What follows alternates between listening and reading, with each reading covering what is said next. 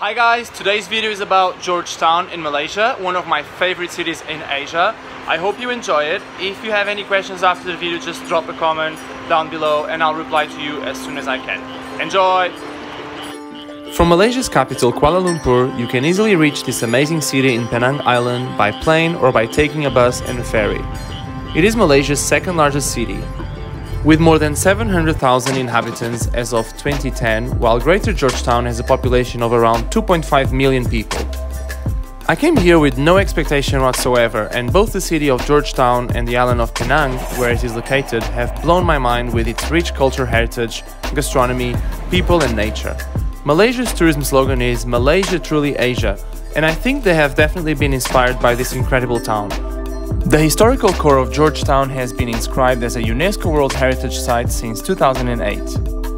It was established by the British East India Company in 1786, meaning it was the first British settlement in Southeast Asia.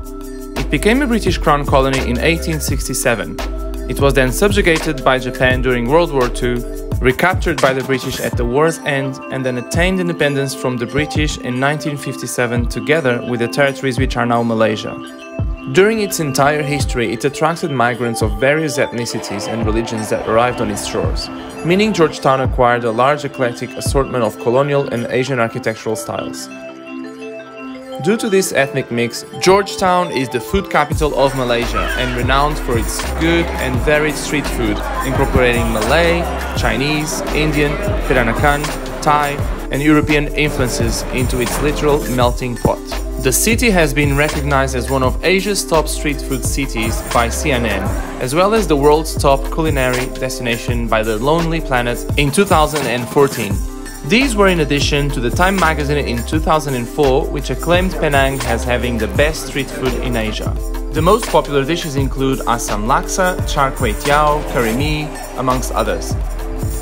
Moreover, the city hosts unique cultural heritage, such as the legacies of Muslim and Hindu populations who migrated from India during the colonial period, and the Peranakan Chinese, the descendants of Chinese immigrants who came to the Malay archipelago, whose legacies are still visible on Penang's architecture and cuisine. In 2012, Lithuanian artist Ernest Zacharevic created a series of wall murals depicting local culture, inhabitants, and lifestyles. These artworks became so popular that they are now one of the city's main attractions and a hit on Instagram.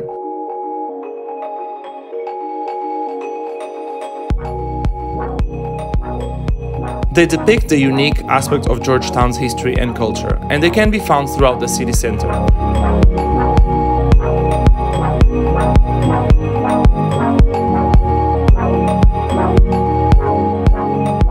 Children on a bicycle is one of the most photographed spots in the city. Next to the city center you'll find the clan jetties. Clan jetties are one of the last bastions of old Chinese settlements on the island. This waterfront society is home to houses on stilts of various Chinese clans and are over a century old.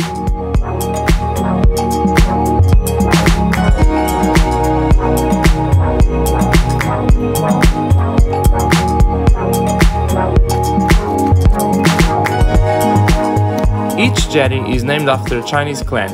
The Chew Jetty is the most tourist friendly with the most tilt houses, the longest walkway, and a temple that is worth stopping by, as well as plenty of places for those Instagram moments.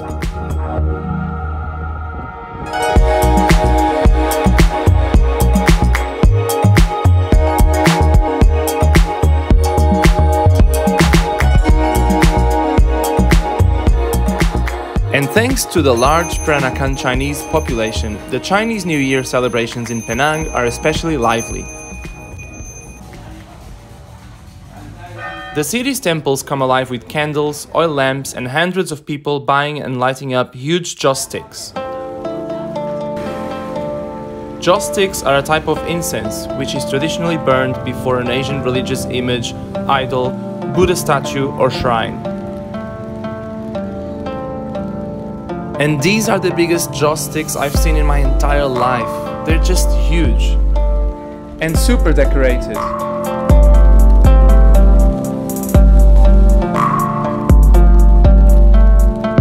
On New Year's Eve, Malaysian Chinese turn up in their ancestral homes to eat, gamble, and celebrate with their families.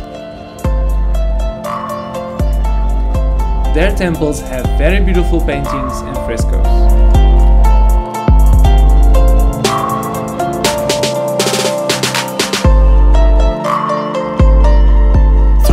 Entire Chinese New Year season, Penang comes alive with countless parties and parades.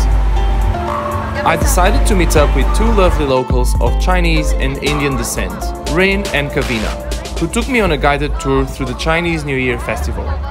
For girls, we will write our number and we will throw. If you are single, we will throw it to the ocean. The ocean. So if you want, you can just go and pick it up one.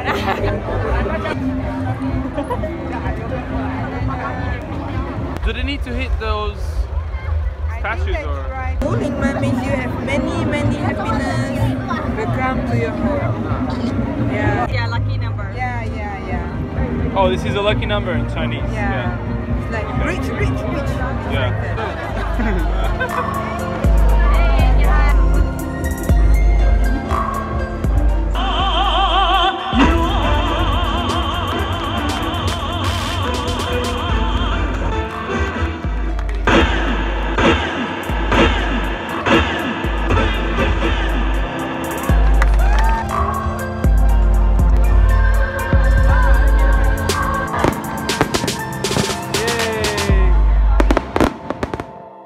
The central hills of Penang Island serve as a giant green lung for Georgetown.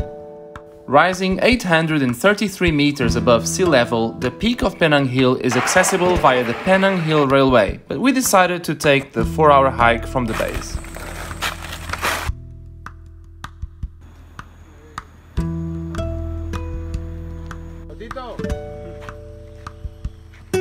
Once you're at the top, you'll find the usual tourist activities.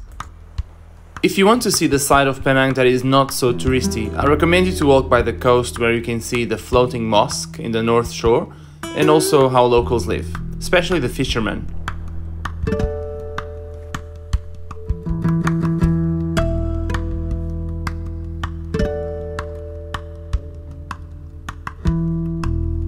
When you travel solo, you constantly meet new people and hang out with other travel buddies who share the same plans.